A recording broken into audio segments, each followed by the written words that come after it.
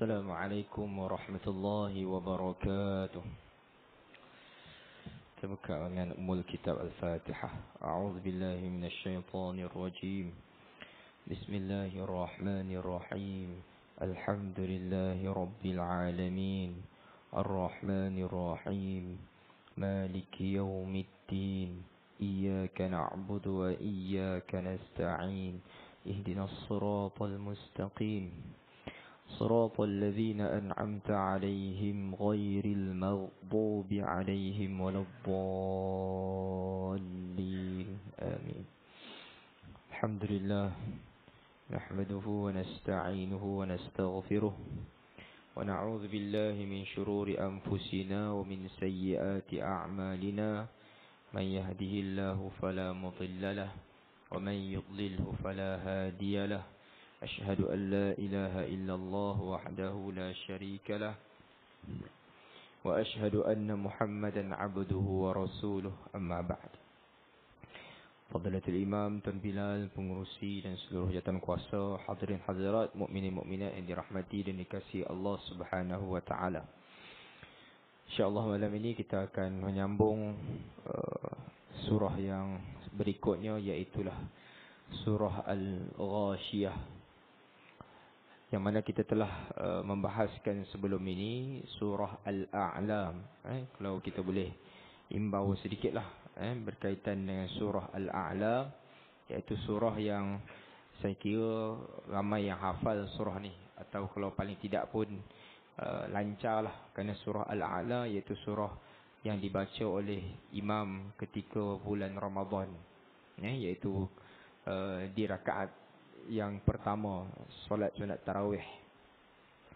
Uh, maka surah Al-A'la dahulu kita telah uh, membincangkan cerita yang terkandung dalam surah itu berkaitan dengan uh, Allah Subhanahu Wa Taala memberikan jalan pilihan kepada hambanya untuk memilih sama ada jalan kebaikan atau sebaliknya. Sebab itu kita tahu hidup kita di atas muka bumi ini pilihan yang ada di depan mata kita atau jalan yang ada di depan mata kita pilihan di atas kita sendiri. Dan takdir Allah Taala itu sebahagiannya yang memang tak boleh diubahlah eh yang telah berlaku tak boleh diubah. Tapi yang bakal berlaku kita boleh plan kita boleh rancang kita boleh uh, ikhtiar maksudnya. Ikhtiar maksudnya boleh pilih lah boleh usahakan. Yang dah berlaku yang telah lalu tak ada apalah. Eh? Tak boleh nak pilih, tak boleh nak ubah. Yang mendatang itu yang kita akan menjadikan satu perjalanan hidup kita sama ada kita nak yang lebih baik atau biasa-biasa saja. Kan? Ha. Sebab tu ada pepatah Arab sebut. Eh? Orang yang biasa-biasa ni, dia memang biasa-biasa. Eh? Hidup biasa-biasa, makan biasa-biasa, tidur biasa-biasa. Nanti mati pun nak biasa-biasa. Tak ada luar biasa langsung. Kan? Ha, maksud luar biasa tu yang baik lah. Kan? Kalau makan tu, ha, makan yang luar biasa lah. Makan biasa-biasa apa. Kan? Tapi kalau mati, mati luar biasa lah. Mati tengah solat lah. Kan? Mati tengah baca Quran. Okay? Baik, jadi surah Al-Ghashiyah ni dia deep, dia pergi dalam sikit. Eh, cerita tentang keadaan orang kafir yang memilih jalan uh, ke, kemungkaran atau jalan yang Allah murka. Demikian juga menceritakan natijah kepada orang mukmin. Eh? Mari kita tengok surah Al-Ghashiyah ayat yang pertama. A'udzubillahi minasyaitonirrajim. Bismillahirrahmanirrahim. Hal ataka hadithul ghashiyah. Allah Subhanahu wa taala memulakan bicara pada surah ini dengan persoalan. Eh? Hal maksudnya adakah? Eh, dalam bahasa Arab sebut istifhamiyah, persoalan, istifham eh, bertanya. Tapi dalam soalan itu bukan bermaksud Allah nakkan jawapan. Eh? Kalau kita belajar ilmu balaghah, ilmu sastra Arab, soalan ni kalau tak silap saya lah, lebih kurang ada 13 tujuan. Ha. Soalan dalam Quran ni maknanya persoalan yang Allah datangkan dalam Quran ada 13 maksud. Eh, ha, macam kita lah. Kalau kita sembang pun. Kita tanya kawan kita. Kadang-kadang bukan soalan kita tu nakkan jawapan. Kan? Ada sebagian soalan kita nak perli orang. Kan? Lama tak nampak. Ha, kan? Lama tak nampak tu bukan kita ha, dia nak jawab, aku pergi ni tak. Kan? Kita beli lah lama tak nampak tak surau kan. kan? Nak beli lama tak nampak tu tak tahu pergi mana kan. Tapi maknanya soalan-soalan tu kan ada yang bukan tujuan untuk jawapan. Kan? Ha. Panjang lagi ya umur kau. Kita tanya kan. Soalan nak sindir. Tuhan pun macam tu. Ada soalan yang dia nak sindir. Kan? Ada soalan yang dia nak cabar. Ada soalan yang dia nak ugut. Macam-macam. Eh? Jadi soalan ini pun hal ataka hadithul ghasyiyah yang mana Allah Subhanahu wa taala bertanya, eh sudahkah sampai kepadamu wahai Muhammad perihal hari kiamat? Yang mana kalau kita lihat di sini eh seperti yang dikupas oleh eh pengarang ataupun Syekh Wabah Zuhaili eh, menakalkan pandangan-pandangan daripada tafsir-tafsir yang dikemukakan oleh para ulama antaranya kalau kita lihat Allah Subhanahu wa taala disebut di situ muka surat 199 Maksudnya adakah sampai kepadamu, yakni kepada pendengaranmu wahai Muhammad peristiwa kiamat dan adakah engkau mengetahui keadaannya? Di manakah surah di manakan surah ini dengan al, dimulakan surah dinamakan surah ini dengan al-ghasyiyah kerana keadaan yang dahsyat itu menenggelamkan semua makhluk di dalam gelombang malapetaka tersebut. Soalan ini dia semacam nak mencabar orang musyrikin. Dalam sebahagian riwayat menyebut bahawa soalan itu nak menghina orang musyrikin sebenarnya. Eh, hal ataka, maknanya Nabi pun bertanya kepada orang musyrikin, apakah telah sampai kepada Al-Ghashiyah. Al-Ghashiyah, kalau kita lihat, lihat maksudnya, iaitu peristiwa yang maha dahsyat. Eh, yang mana kiamat lah. Jadi orang musyrikin, ditanya kepada mereka ni, bila dah berlaku kiamat tu? Jadi adakah mereka nak akan jawab? Ah, dah sampai dah. Tak. Eh, mereka ditanya itu untuk Allah Taala gambarkan, ah inilah dia hari yang kamu duk tanya-tanya dulu. Kan? Ha, sekarang dah sampai ke belum? Khasyah tu. Macam itulah. Jadi bukan jawapan dia Allah nak tanya dah ke belum? Nak gambarkan inilah dia hari yang kamu cabar. Eh? Kan dalam banyak ayat yang kita jumpa dalam Quran, eh mata hadzal wa'd. Banyak eh dalam surah Yasin.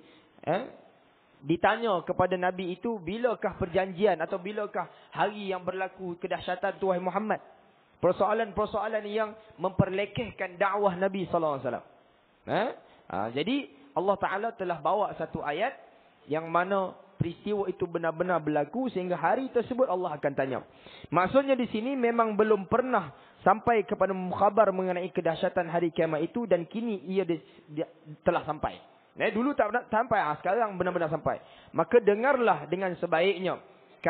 Kaedah pertanyaan dalam menarik perhatian pendengar supaya menumpukan pendengaran dan mengamati apakah yang akan diperkatakan. Maknanya, sesungguhnya telah datang kepada engkau wahai Muhammad peristiwa hari kiamat. Jadi, menggambarkan hari surah ini menceritakan bagaimana benar-benar berlakunya kiamat itu sehingga Allah Subhanahu Wa Taala akan cerita detail apa yang berlaku kepada orang-orang musyrikin atau orang kafir nanti di hari kiamat. Surah ini seterusnya menyebut keadaan manusia pada hari, hari itu dan pembahagian mereka kepada dua kumpulan iaitu orang yang celaka dan orang yang berbahagia.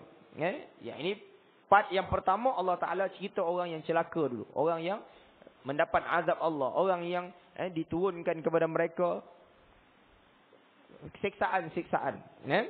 Yaitu pada ayat yang kedua kalau kita lihat Allah Taala menyambung wujuhun yawma idzin khashi'ah. Sekali kita tengok ayat ni, wih. Orang yang khusyuk. Ha, kita tengok apa maksudnya. Yaitu pada hari tersebut muka orang-orang kafir, wujuh. Wujuh maksudnya wajhun. Kita ambil kalimah wajah tu bahasa Melayu tu, ia adalah berasal daripada kalimah Arab, wajhun. Sebab itu yang kita baca dalam doa iftitah, wajjahtu wajhiya Wajah tu aku mengwajahkan. Yang aku menghadapkan wajahku. Wajhiya lilladhi fatara samawati wal ardh. Sebab itu bila kita baca dalam salat, kita menghadirkan betapa kita khusyuk. Maknanya kita benar-benar menyerahkan diri kita, menghadapkan diri kita kepada Allah Taala. Eh? Wajah tu. Ha, sebab itu bila baca ungkapan itu, eh, kita semua baca doa, doa iftitah kan. Otak kita tak boleh melayang. Kalau melayang dia tak tak tak sampai lah. Eh, nah itu yang yang orang dah sebut khusyuk, khusyuk, khusyuk. Sebab wallahu alam lah, tapi setakat bila kita kaji jalan nak khusyuk ni antara kaedah yang paling ampuh mesti kita usaha untuk faham apa yang kita baca dalam solat.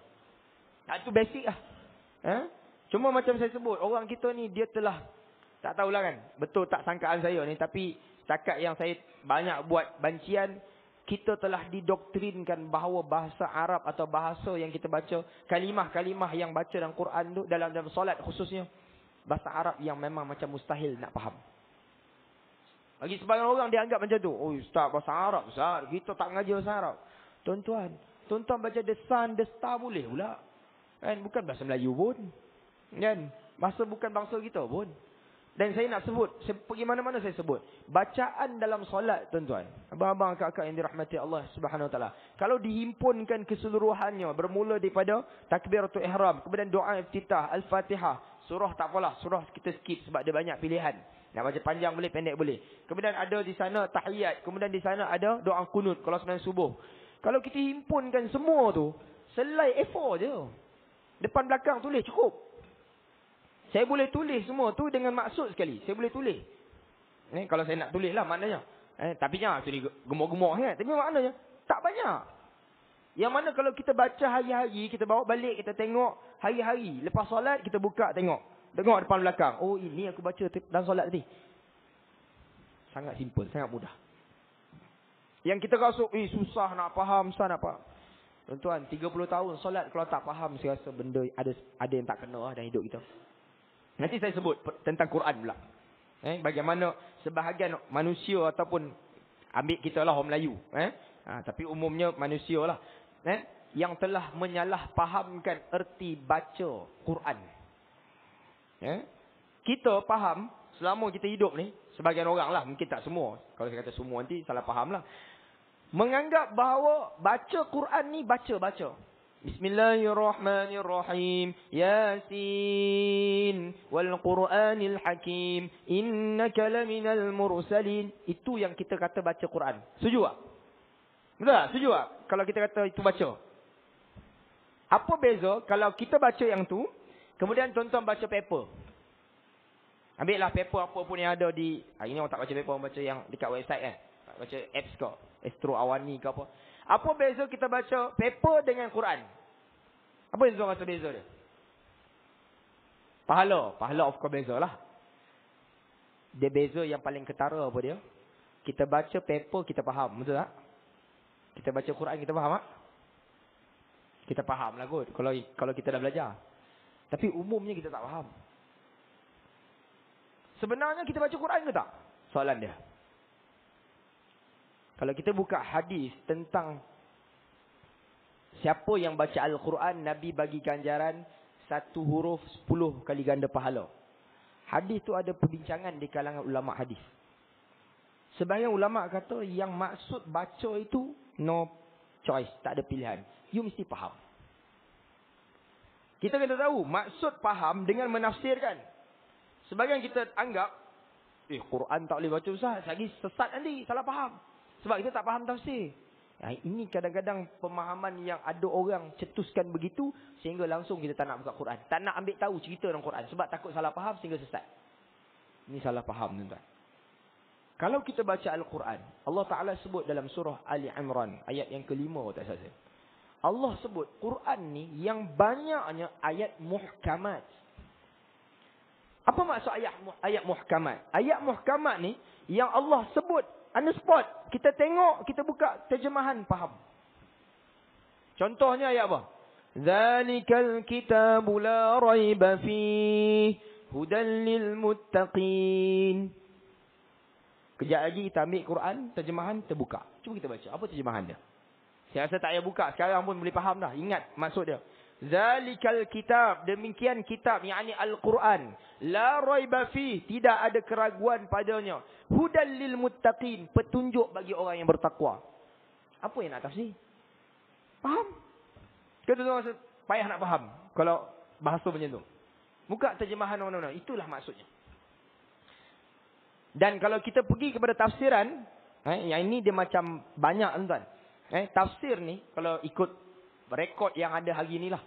Yang banyak yang ada di dunia ni banyak lagi yang tak dibongkar. Tapi yang ada hari ni mencecah 150 jenis kitab tafsir.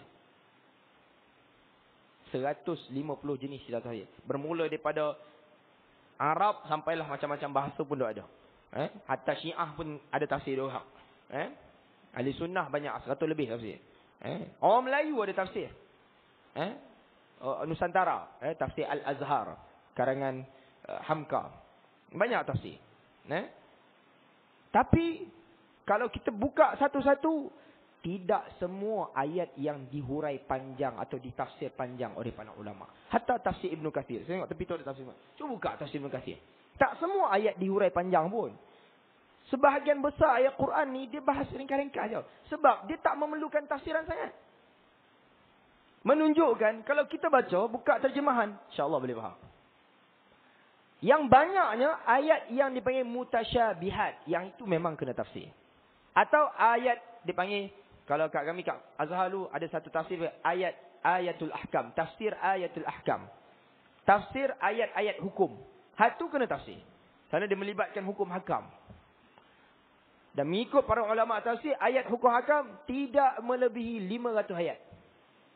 Tuan-tuan, 6,000 lebih ayat Quran. Hanya 500 saja ayat Quran yang tafsir, yang sebahagiannya yang mutasyabihat pun tak sampailah semua tu seribu ayat. Bakinya, kalau kita baca macam surah ni, saya tak payah tafsir pun, saya tak hurai pun, kita boleh faham. Cuma kita baca dalam sikit lah. Sebab dalam tafsiran ni sebenarnya dia bawa kaul-kaul, pandangan-pandangan ulama, riwayat-riwayat tentang kisah itu. Itu saja. Dan adalah di segi, dia, dia keluarkan di segi uh, ibrah, pengajaran.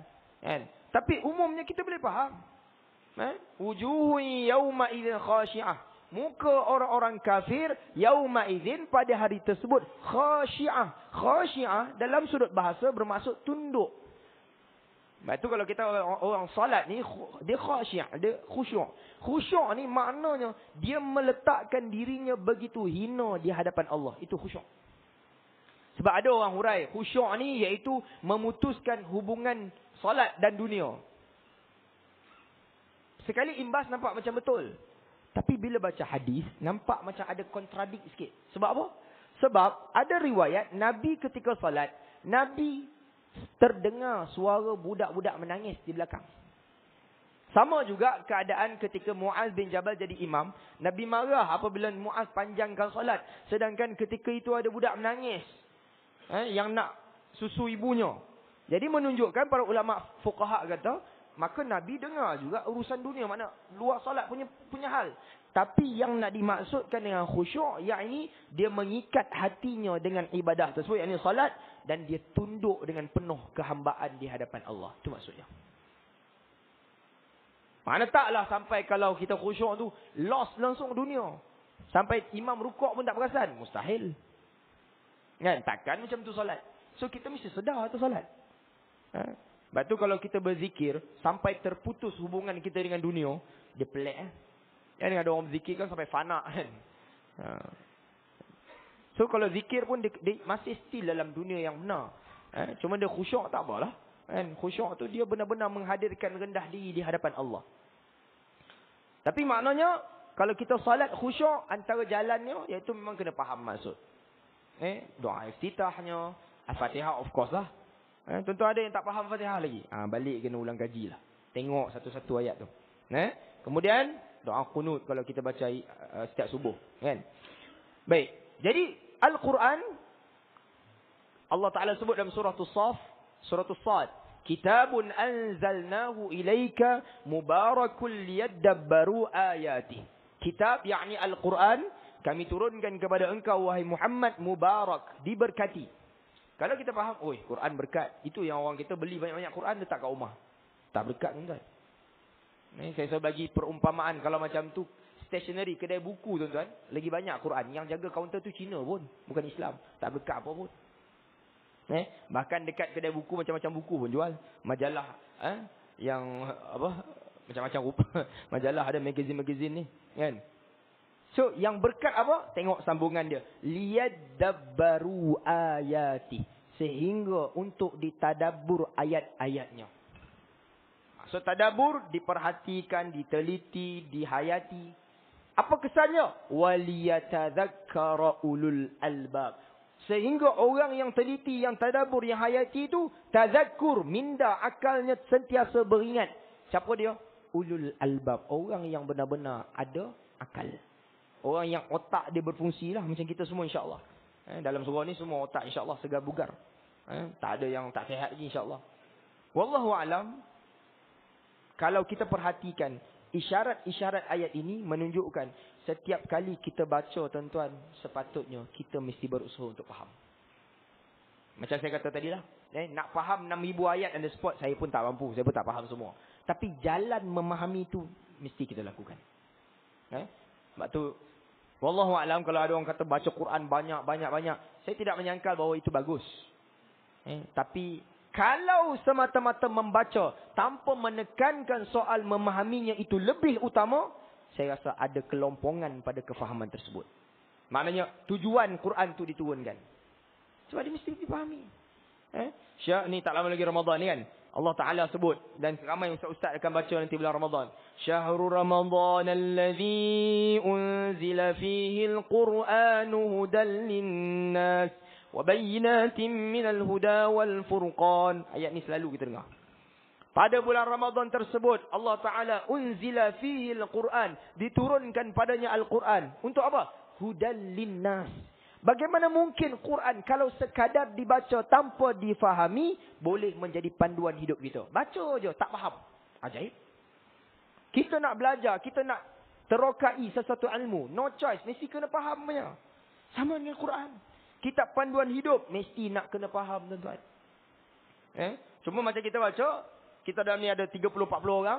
Pastilah kalau kita baca, masing-masing ada kefahaman yang mungkin berbeza lah. Bukan berbeza tu maksudnya seorang fikir negatif positif sesat, seorang betul. Tak, maksudnya kefahaman ada yang mungkin lebih luas. Ada kurang sikit, biasalah tu. Ilmu semua macam tu.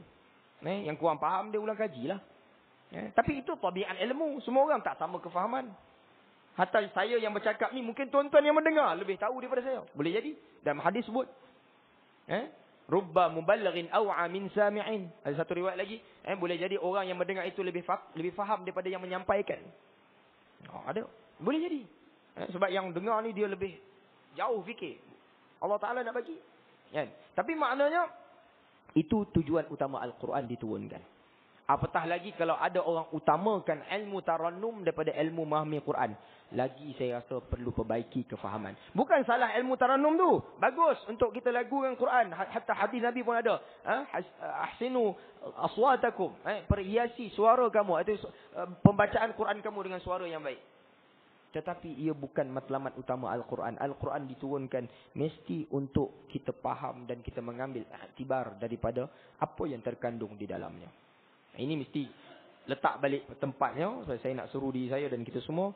Eh, sebab kita pengajian kita sebulan sekali. Ya. Mungkin ada ustaz pun mengajar tafsir. Tapi tak banyak. So tuan-tuan kita kena sendirilah terokai Al-Quran ni. Eh, senang je. Apa ayat yang kita kurang jelas. Tuan-tuan kontak mana-mana ustaz tuan-tuan. Teks dia ustaz ayat ni macam tak faham. So dia bincang lah. So, atau suruh dia bahas atau dia kaji. Dia bagi tahu. InsyaAllah kita akan faham Al-Quran. Mungkin sebahagian beberapa perkara, peristiwa-peristiwa tertentu yang mungkin kita kurang jelas. And then kita akan bahas, kita munakashah, bincang. Kita akan temui eh, pencerahannya. Okay. So, kembali kepada surah Al-Ghashiyah. Eh? Baik. Amilatun nasibah. Orang-orang kafir ini apabila berdiri di hadapan Allah dengan penuh khusyuk. Jadi khusyuk ni, kita fahamlah. Eh, khusyuk ni maksudnya memang takut sungguh lah hadapan Allah. Itu yang kita kena khusyuk tu. Menghadirkan betapa takutnya kita di hadapan Allah. Betapa kita merendah diri. Betapa kita hina. Itu yang saya selalu ulang. Mana mungkin kalau orang yang salat. Lepas salat hati dia busuk. Hati dia prasangka dengan orang. Hatinya dengki dengan orang. Hatinya tak puas hati dengan orang. Tak mungkin. Kalau orang yang salat benar-benar khusyuk. Tapi kedapatan. Ada orang salat. Tapi lepas salat. Macam tu hati dia. Eh, keluar daripada surau masjid umpamanya ada perasaan tak puas hati dengan orang. Matlamat solatnya tak sampai tuan-tuan. Tujuan dia solat tak sampai. Sebab sepatutnya orang yang telah menghina diri di hadapan Allah. Dia memutuskan semua dendam sengketa, sifat-sifat yang mazmumah yang ada dalam jiwanya. Sebab tu solat tu tujuan dia untuk melebur semua sifat mazmumah. Tiba-tiba kita solat tak hilang, tak tak ubah apa-apa. Ajaib. Ha, ini kita kena perbaiki. Eh? Jadi sebab itu Allah Ta'ala gambarkan orang kafir ni khusyuk. Waktu tu tak ada apa lah. Nak khusyuk pun tak. Nothing ya. Sebab dah kiamat dah. So yang kita boleh faham apa dia? Sebelum na'udzubillah. Kita nak khusyuk depan Allah di akhirat esok. Kerana kita menyesal di atas apa yang telah kita tinggal, kita alpulkan di dunia. Lebih baik kita khusyuk siap-siap dekat dunia ni. Maknanya kita benar-benar salat dengan menghadirkan betapa kita hina, kita lemah, kita daif di hadapan Allah. Sehingga kita lepas salat, kita pun akan kembali kuat untuk memperbaiki diri kita.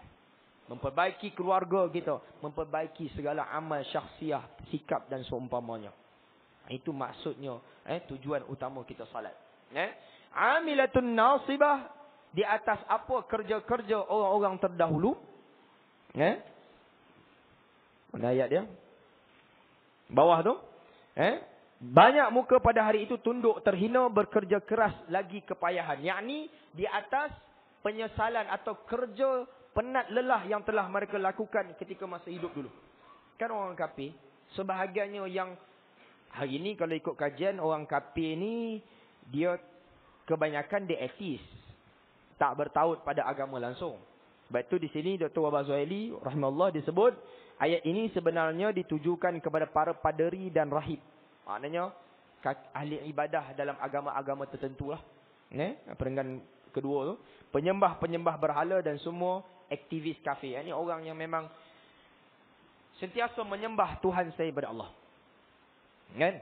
Jadi, secara rangkumannya termasuklah semua orang atau semua eh, makhluk, khususnya manusia lah.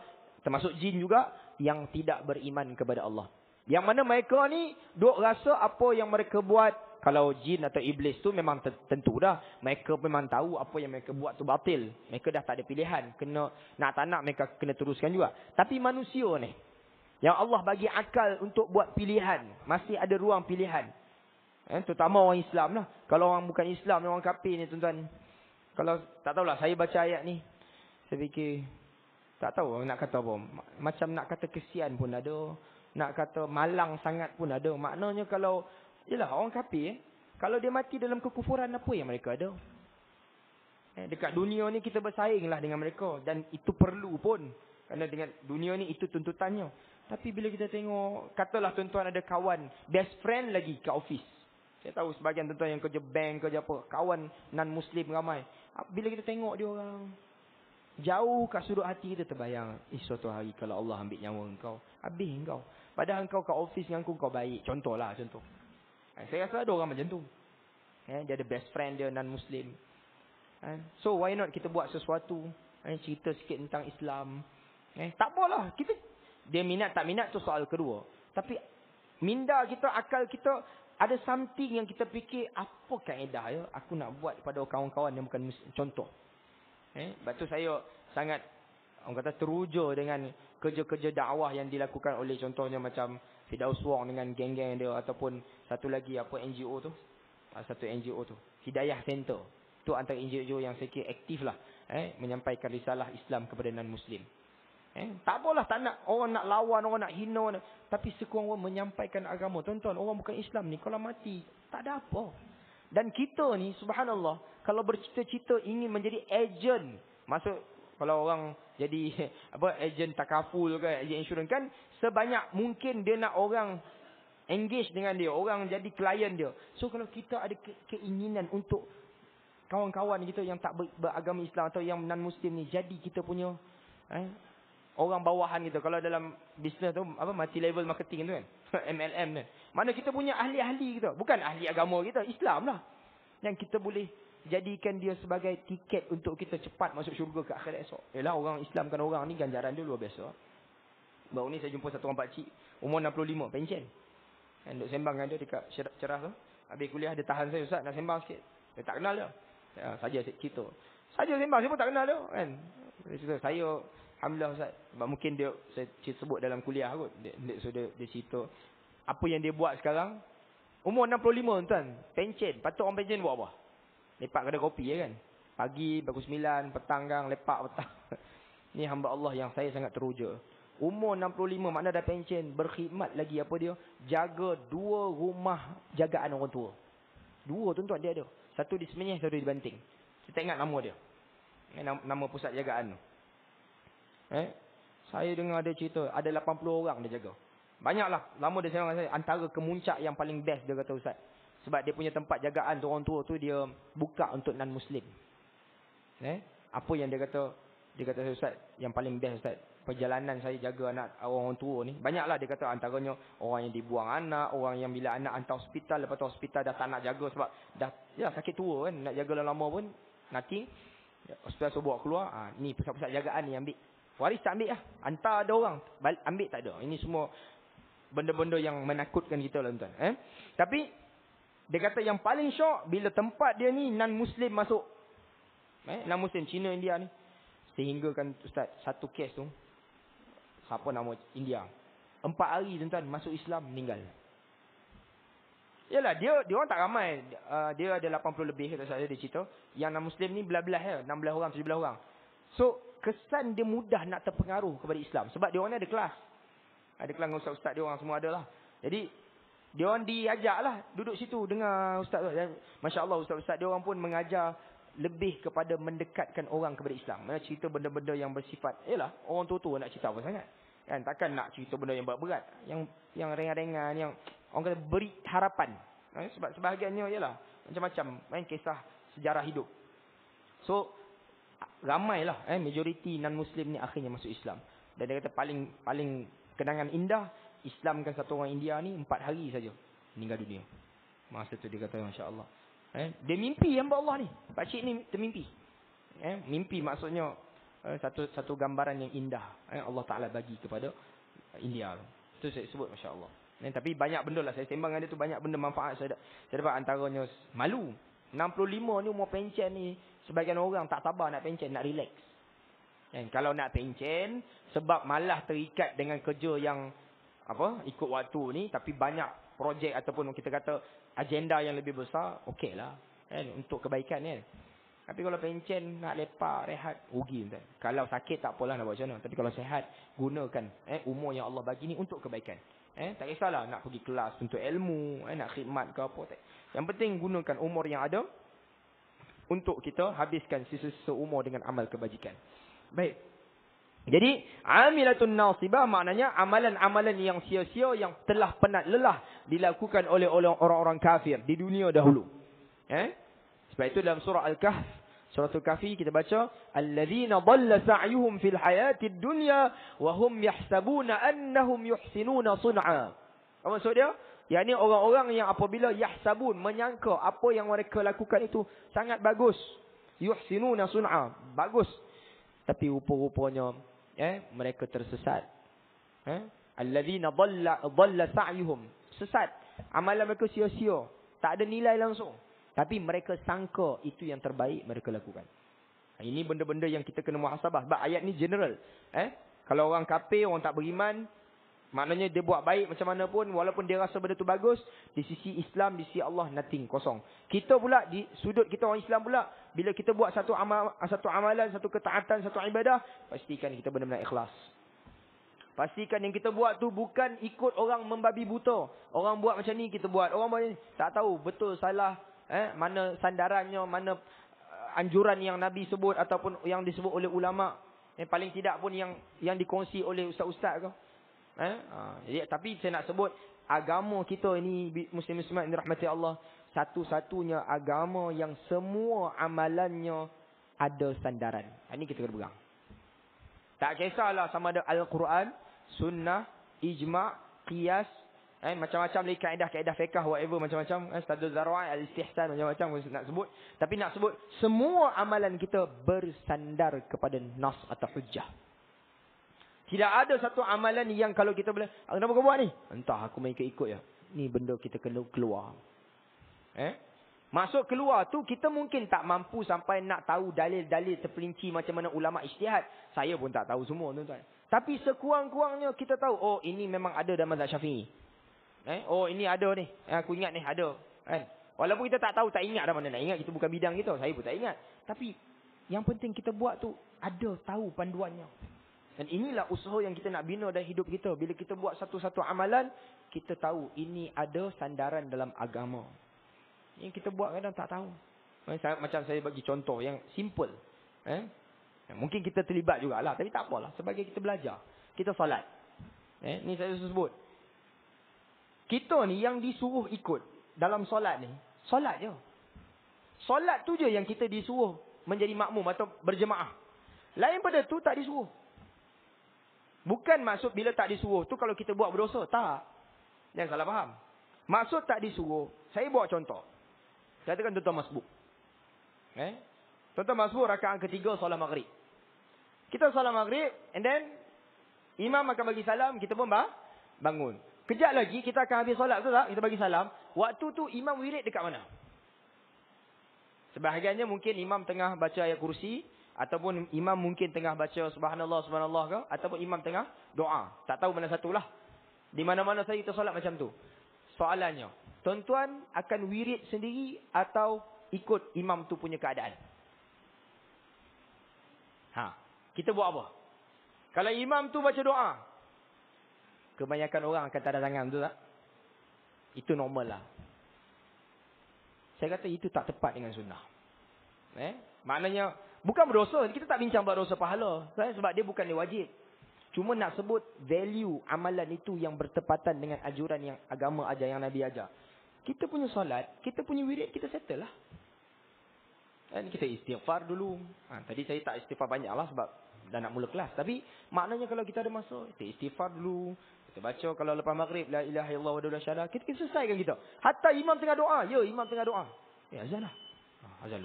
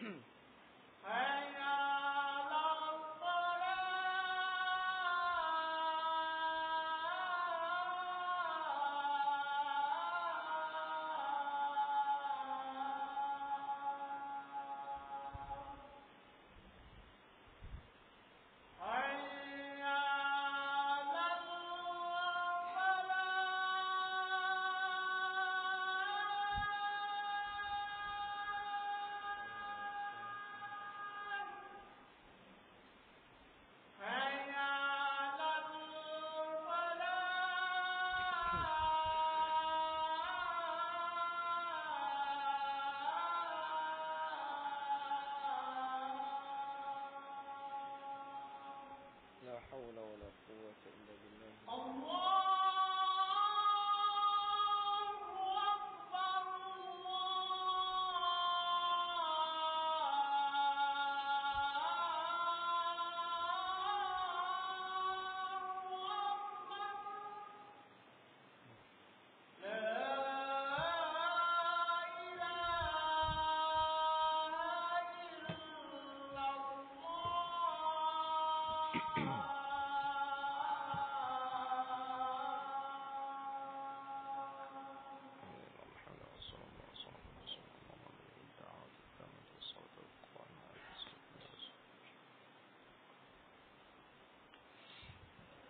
Hadirin hadirat yang dirahmati dan dikasihi Allah Subhanahu wa taala. Baik. Jadi sebab itu dalam amalan kita kena identify yang ini uh, bersendirian, yang ini ramai-ramai.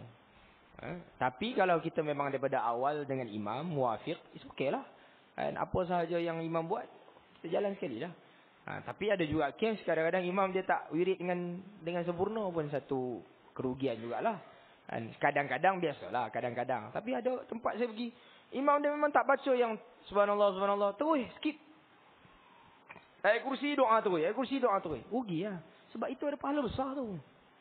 Kan? So kalau macam tu tuan-tuan, sini okey lah insyaAllah kan. Tapi kalau katalah, kan, mana-mana tempat di office kita, kita sendiri lah. Imam tak tangan, tak, kita selesaikan kita dulu.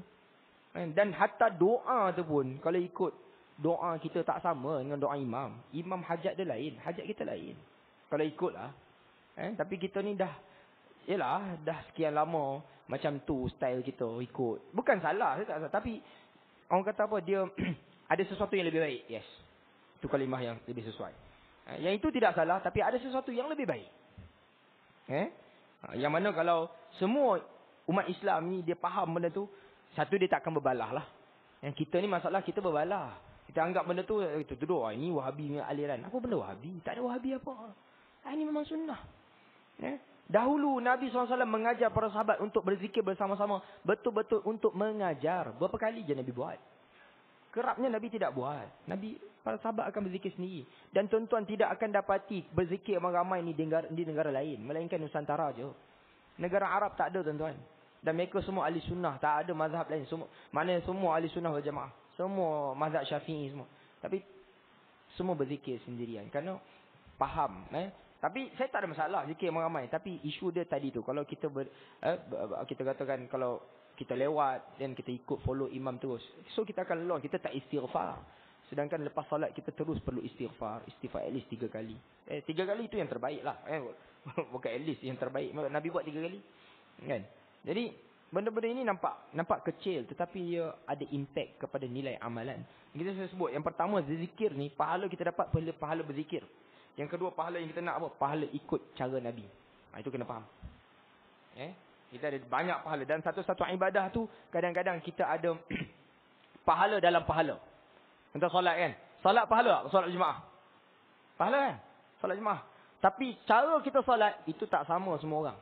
Sebab tu value dalam solat kita tak sama pahala. Mungkin tuan-tuan lebih banyak pahala daripada saya. Contoh, duduk. Cara duduk Nabi dalam tahiyat. Tadi saya tengok siapa solat. Ini saya kena betulkan.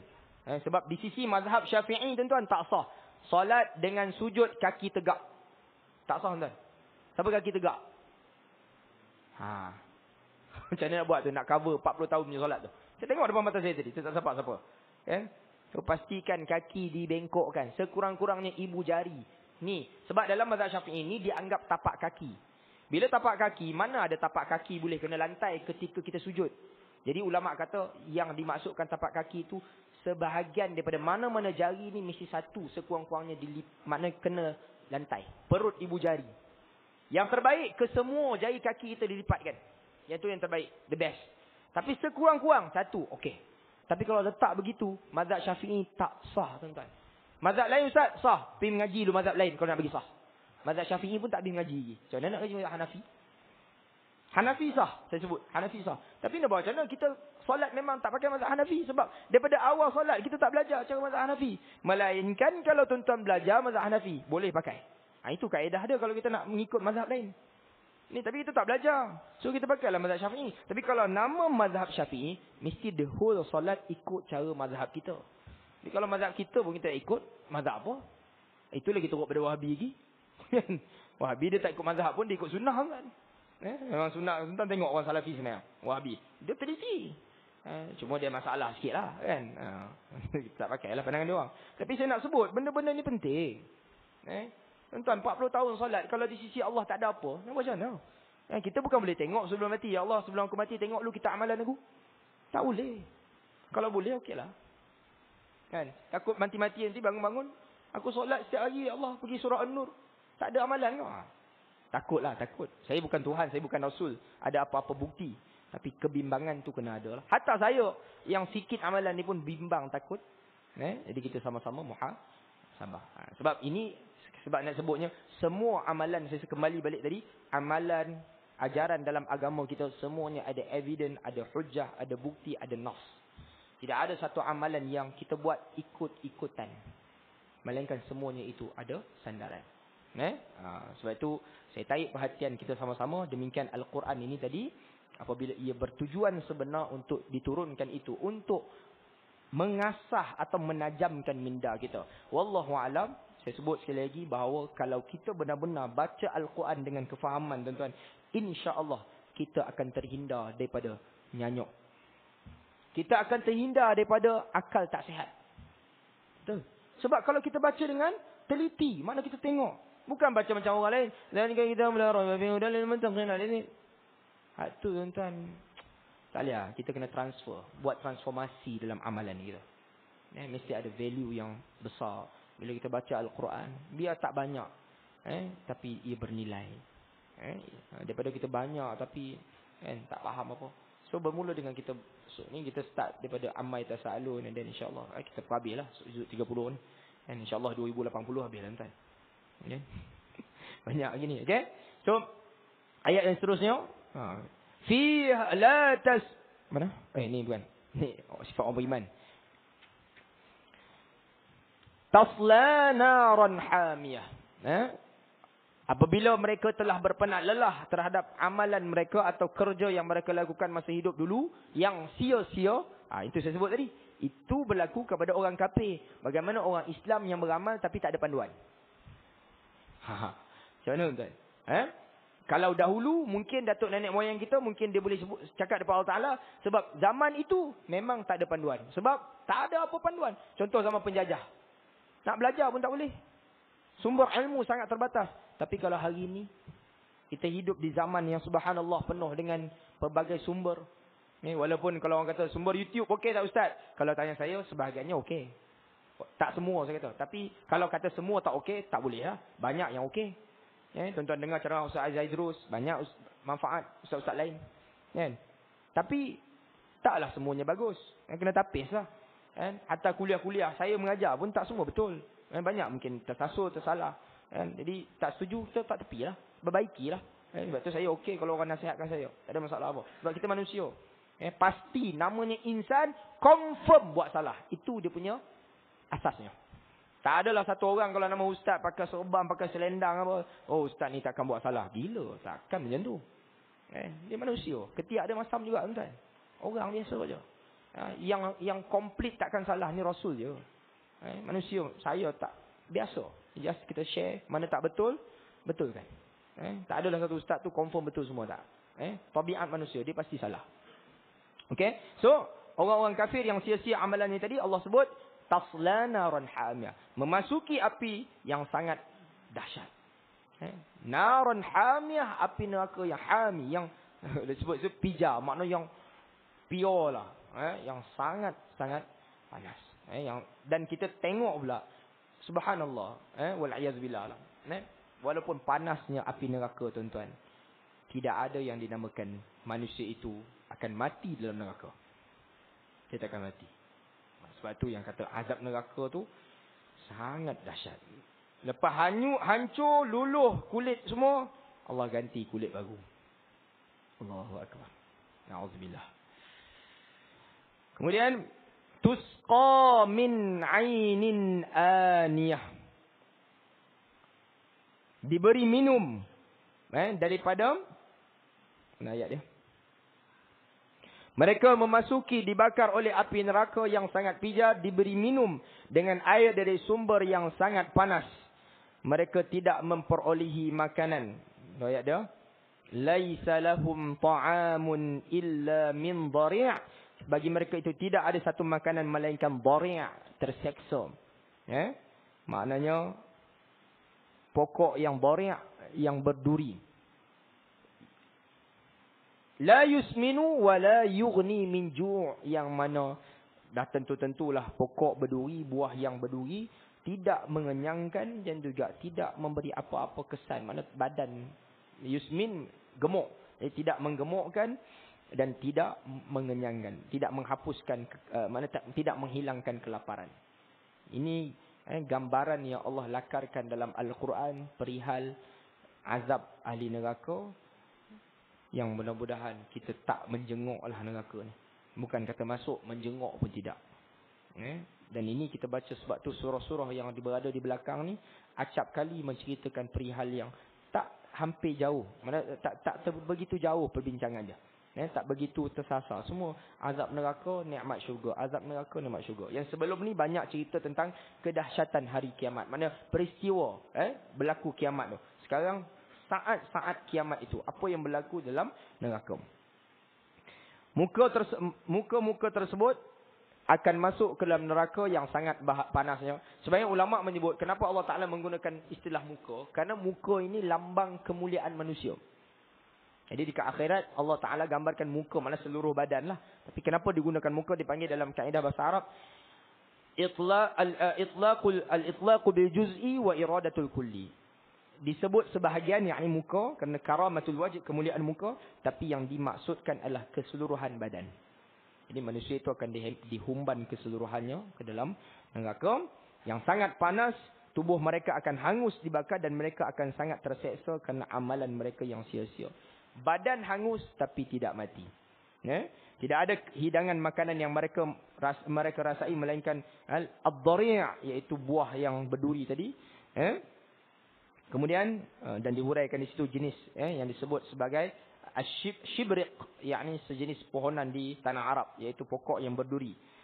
Eh? Pohon ini tidak memberi sebarang manfaat kerana ia tidak mengenyangkan dan tidak pula menghilangkan lapar. Ayat di atas mendahulukan sebutan minum daripada makan kerana keperluan minuman bagi ahli neraka lebih penting akibat dahaga oleh kepedasan api neraka. Bukan neraka, dunia pun kita tahu lebih penting minum daripada makan. Eh? Maknanya kalau makan, tak makan tiga hari. Tapi boleh hidup lagi kalau minum. Tapi kalau tak minum tiga hari, kacau.